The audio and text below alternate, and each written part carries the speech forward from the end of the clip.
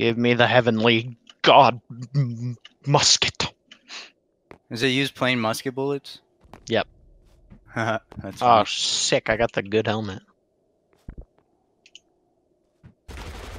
Ow! There's someone here! Oh, fuck! I don't have a gun. I thought that was dark. It wasn't dark. Nope. But his name was hovering over him the whole time.